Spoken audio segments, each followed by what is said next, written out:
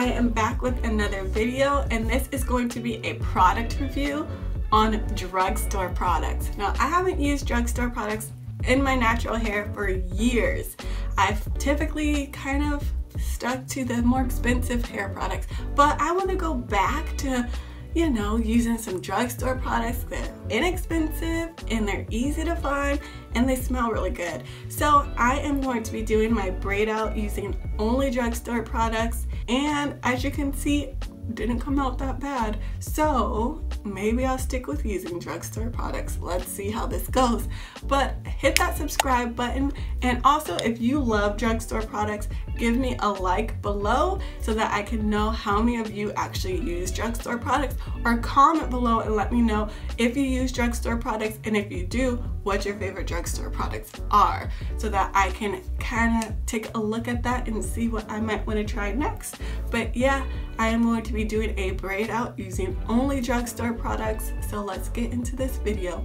But don't forget to hit that subscribe button and become part of my sisterhood because I'd love to have you. And also hit that notification bell so when I do upload, you will always be in the know. But let's get started with this video.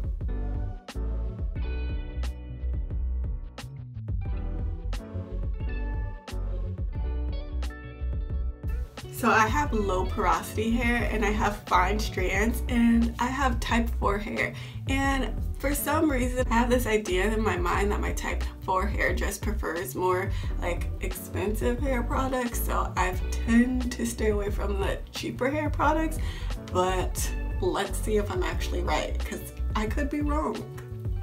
Let's see.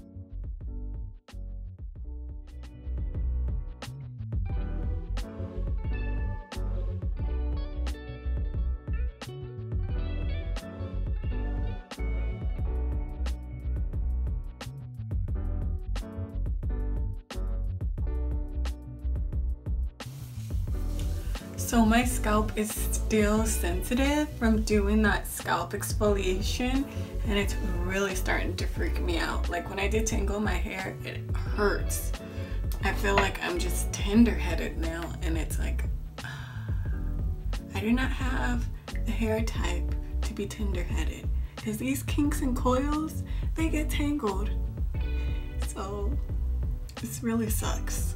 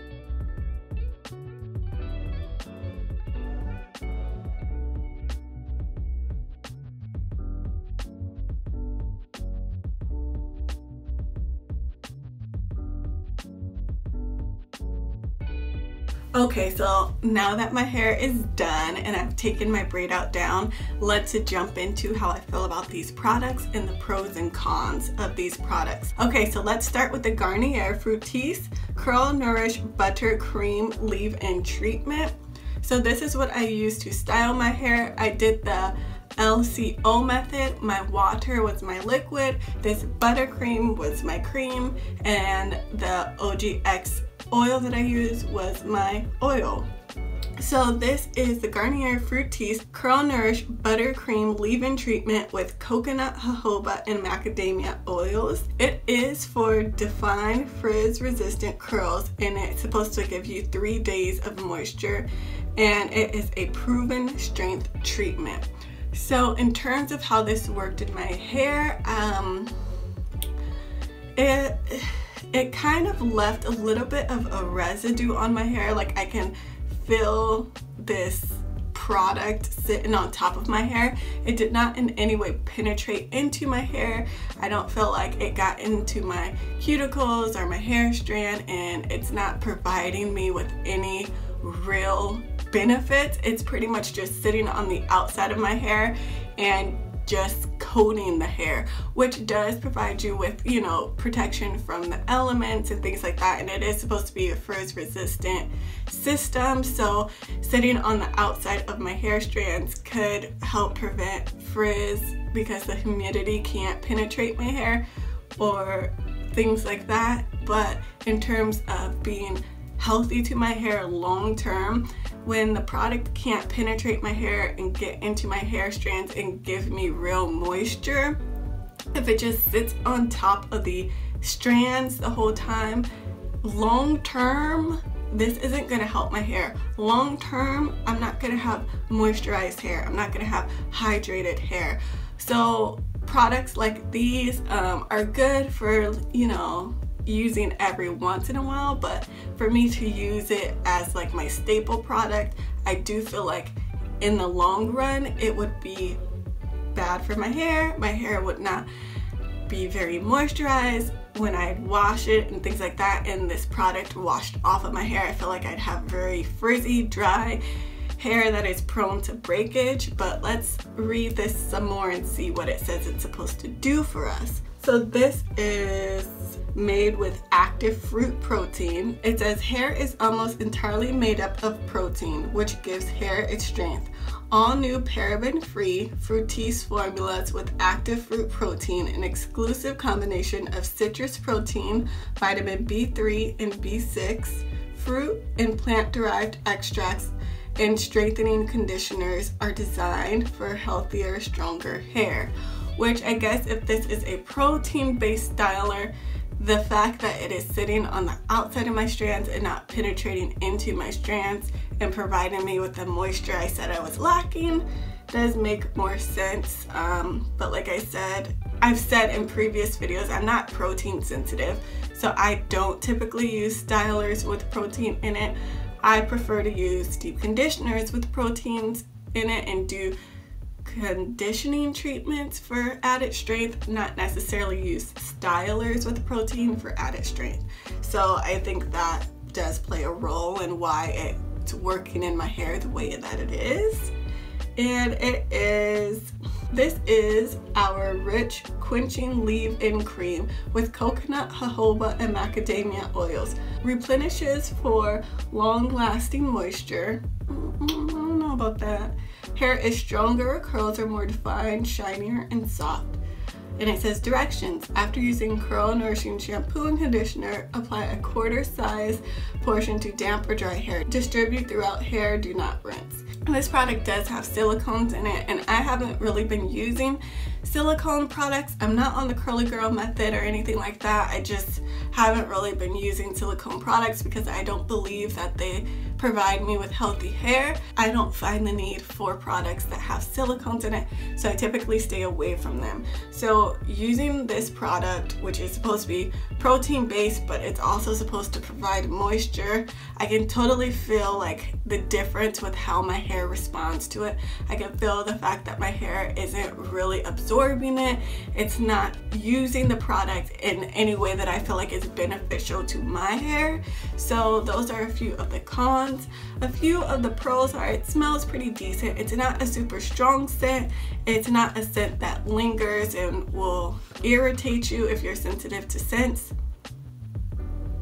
It has the typical Garnier Fructis scent or it's a little bit fruity. Um, so I can't specify what fruit exactly it smells like, but it does have more of a fruity scent. And a big pro about this product is it's only about $4.99 so it's fairly inexpensive it's easily accessible you can get it at most drugstores you can get it at Walmart you can get it at Target um, so I don't think it's hard to find. Maybe if you're a newbie in your natural hair journey, this might be a good product to start with because it's inexpensive and it's easy to use and you can get pretty decent results from it while you're still learning your hair and figuring things out with your hair. I guess that could be a pretty good pro, but in my opinion, the cons outweigh the pros. For my hair and with the knowledge I have for my hair, I don't think I would repurchase this product. I think this is going to be a one-time use and then toss it. Now, I um, have seen like some people on YouTube who do like this product, but I also see that our hair is extremely different, like extremely different. I have low porosity hair and I have fine strands. So because of that, my hair doesn't really absorb products that well anyway. And then because of my strand size, sometimes it can get weighed down. So I don't think my hair is not absorbing this product because I'm low porosity. Because after two days of air drying, my hair typically will absorb most products if I give it sufficient time to dry and do what it needs to do. But even after two days, this product is still sitting on the outside of my strands and I can feel the residue of it. So I don't think that has anything to do with my low porosity. I just don't think my hair cares for these products. And I think I've kind of spoiled my hair at this point because I don't use drugstore products. So I think my hair is like, mm, no, we're not doing this we're not doing this. So it's just not gonna be something that I reuse. And then for my oil, I did use the OGX Kukui oil, and this is an anti-frizz hydrating oil. So I felt like it went really well with this leave-in treatment because this this Garnier Fructis was also anti-frizz, so I felt like they would work well together. And this says, indulge your tresses with this exotic blend of kukui nut oil, an ancient Hawaiian secret used for its humidity-resistant abilities, creating a shimmery gloss to smooth texture and repel humidity. Make every day a good hair day. It says, spray evenly all over clean, damp hair in style as usual. Can be used on dry hair to calm frizz and hydrate curls. And this also has silicones in it. So this doesn't really have any, um, one, two, three, four, five. Like the fifth ingredient is the kukui seed oil. And before that, it's stuff that I don't even know. I don't even know what this is. But naturals know what oils are. And this is not an oil. I'm sorry. So I don't think I would reuse this. And then look how much of it I used in like one usage. That's a lot. So I just don't think these drugstore products work well for me. I don't think they're the best option for me. But like I said, if you're new in your hair journey, you're still figuring your hair out, these are relatively inexpensive. This kukui nut oil was only about $5.99 as well. So like I said, you can get it for a very inexpensive price and this is also easily accessible you can find it at most stores and get your hands on it now the scent of this is divine like I love the way this smells. Like if OGX can't do anything else right, they know how to make their products smell good because every time I smell one of their products, I like feel like I need to buy it, even though I know their products don't work well for my hair. Um, I can't use their shampoos, can't use their conditioners. All of their creams I've ever used didn't really work in my hair these little generic oils that they have don't work well for my hair, but I will still buy it just because it smells good. I always get caught up in the scents from this line, but overall, it's a no. I would not repurchase this. I would not reuse this. Is this a decent braid out? Yes, but I have a lot of residue and buildup on my hair. And when you typically have buildup, um, this could be from being low porosity. This could actually be the side effect of being low porosity, the buildup that I feel, you typically have to go in and do a clarifying wash, which can be pretty stripping to your hair because you have to use sulfates to remove the buildup in the product that's left over on your hair. So I don't think it's worth it to use silicone based cheap drugstore products just because they're more inexpensive and easily accessible. I would rather go to Sally's or the beauty supply store or even the little black section in Walmart and Target and select products that are a little bit more expensive but have better quality ingredients in them just because I like to take care of my hair. My hair is important to me so I don't mind dropping a few dollars on my hair because in my opinion it's worth it. But if you're on a budget and you still want to get products that will somewhat moisturize your hair, there's nothing wrong with using these. I encourage you to do what's best for you and your bank account. So I am in no way telling you to buy only expensive hair products because I want you to do what's best for you. But for my hair, I think I'm gonna stick with the products that I have been using and kind of stay away from the drugstore products because I don't like product buildup.